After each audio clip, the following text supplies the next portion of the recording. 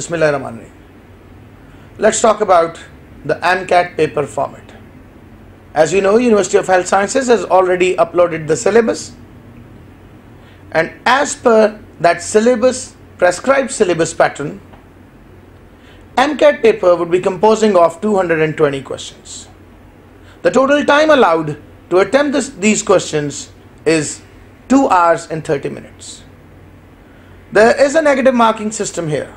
Mind it that for every correct answer, the student will get 5 marks. For every wrong one, you will get minus 1. Leftover or unattempted question carries 0 marks. So my advice to you students is to leave a question if you don't know anything about the question. I'll be providing you tips later on in my next videos. For further details, you can check www.starinstitute.pk or www.ilmkidunya.com. Here, you must be very careful while attempting your paper.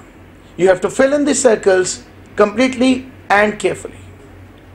Mind it that the government has introduced a self-scoring system where you have response sheet with a carbonless carbonized paper.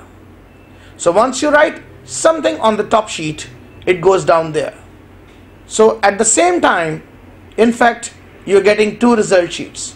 One is submitted to the University of Health Sciences and the other one is taken by the student back home.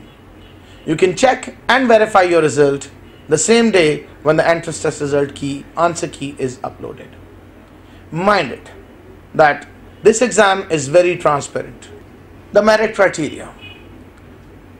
University of Health Sciences and PMDC have made some rules to get into a medical college.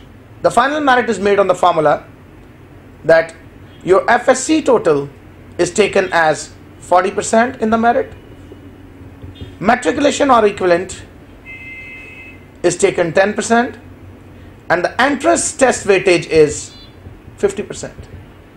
By summing them up and dividing the total by 1100, multiplying with 100, you get your percentile.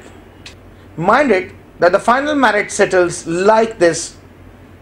For example, 86.3972.